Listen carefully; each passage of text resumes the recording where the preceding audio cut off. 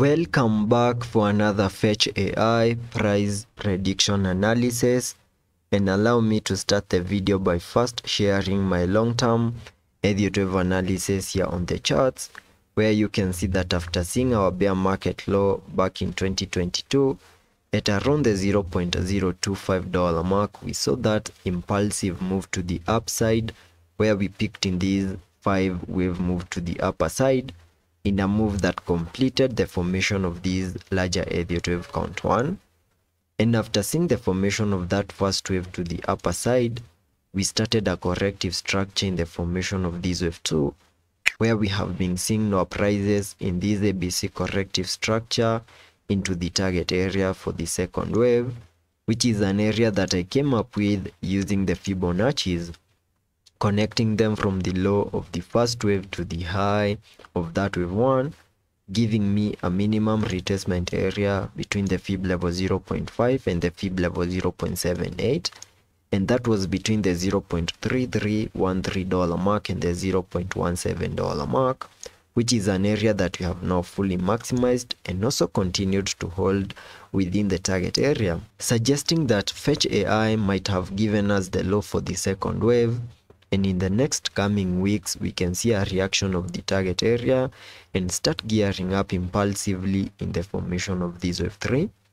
and in the formation of that wave 3 we also expect to see a five wave structure in formation to confirm to us that we have a low in place for the second wave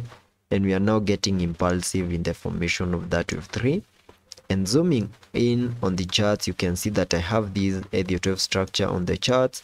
where I'm timing this move after seeing our lows on the 17th of August in a move that gave us a high at around the $0.2746 mark as the formation of that wave 1 and there are high chances that whatever we are seeing at the moment is a corrective structure in the formation of this wave 2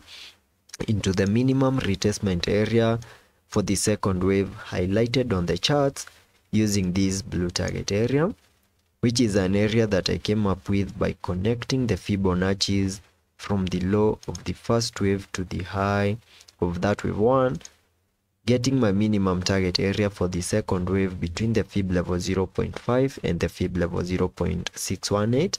and that is between the $0.218 mark and the $0.2047 mark. And it is within this blue target area that we can expect Fetch AI to give us the low for the second wave before we can get impulsive once more in the formation of this wave 3. And in case we continue seeing further weakness, fully maximizing the target area and maybe at some point we lose the fib level 0.618,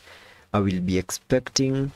Fetch AI to give us one more new low on the fib level 0.78 and that is at around the $0.1856 mark before we can get that massive bounce to the upper side in the formation of that wave 3